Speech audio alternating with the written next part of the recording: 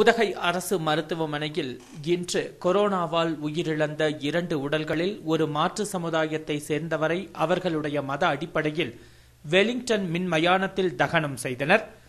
மற்றொன்று கூடலூரை சேர்ந்த உயிரிழந்த பெண்ணின் உடலை மான் பூங்கா அருகில் உள்ள கபர்ஸ்தானில் நல்லடக்கம் செய்தனர். இதுபோன்ற பணிகளில் நீலகிரி மாவட்ட நகர மருத்துவ அணி சார்பாக கொரோனா மீட்புக்குழு மூலம் நல்லடக்கம் செய்யப்பட்டது. நீலகிரி மாவட்டம் முழுவதும் தமிழ்நாடு முஸ்லிம் முன்னேற்ற கழகத்தினர் உதகை நகர மருத்துவ அணி செயலாளர் எச். ரியாஸ் தலைமையில் இதுபோன்ற பணிகளில் தற்பொழுது அனைத்து இடங்களிலும் ஈடுபட்டு வருகின்றனர்.